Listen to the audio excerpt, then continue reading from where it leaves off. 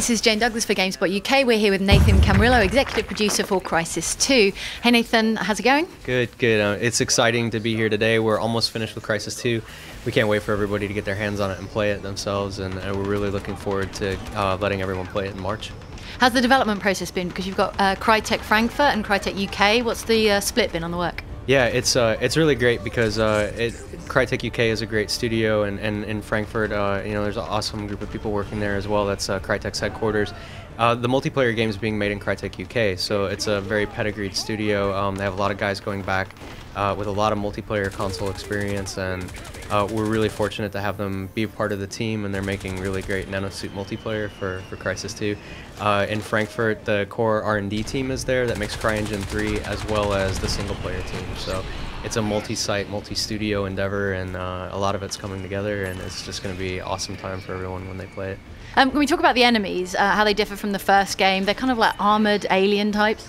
Yeah, so in Crysis 2, um, you know, one of the big things for us was really challenging the, the nanosuit by making the aliens as mobile as you are and using the space in the same way that you do so you can anticipate and also learn routes throughout the space.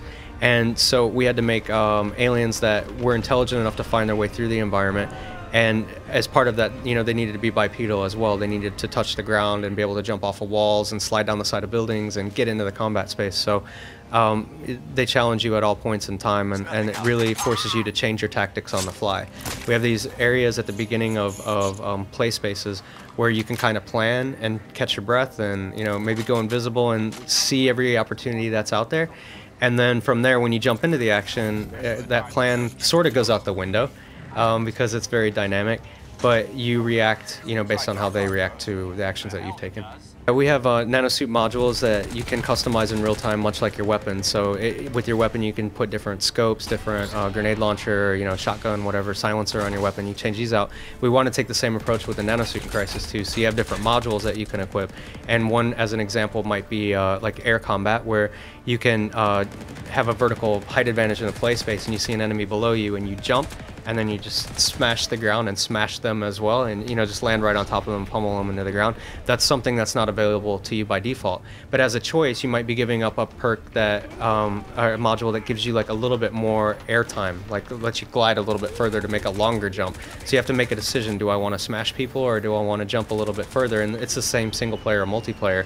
The way that you equip these modules and load out your nanosuit essentially changes the way that you can uh, approach approach the gameplay space, whether it's a 2D um, sandbox or not 2D sandbox, a, a single player sandbox, mm-hmm. or a multiplayer map. And the multiplayer map becomes a multiplayer sandbox in that regard because you have all of the suit mobility that you have in single player with ledge grabs and sliding and sliding and shooting and uh, you know, all these modules as well as uh, being able to car kick in multiplayer and set booby traps and, and everything. So, I mean, it's a, quite a, a, deep amount of gameplay. I thought it was really interesting the way you talk about the, the 3D in the game to avoid eye strain. It's, um, I don't know how you describe it, it's inside the TV like a window rather than popping out at you. Yeah, it, we call it a concave 3D experience because it starts at your TV screen and goes into the world and is a deep 3D experience where we can offer a lot of depth, but it, we don't throw things out of the TV at you. When you pull things out of the TV, that causes you to, to focus your eyes closer than what you're what you've been viewing, uh, which is the, where the TV set is, and then that causes eye strain over time. And and you know if you're playing hours and hours of multiplayer or hours of single player, we want you to be able to play that in 3D and enjoy it without having a headache or eye strain or anything. So, you know, we've done a lot of research in this area over the last couple of years and found that by setting it at the TV and then beyond, being having your TV be the window into the Crysis world, that you can play for hours and experience 3D and it's very gratifying and you just don't get tired from it and that's that's awesome. Okay, um, Crysis not traditionally known as an easy game. How are you pitching the difficulty of, of Crysis 2? Uh, so it's challenging in, in all regards, you know, depending on what difficulty you choose to try it at.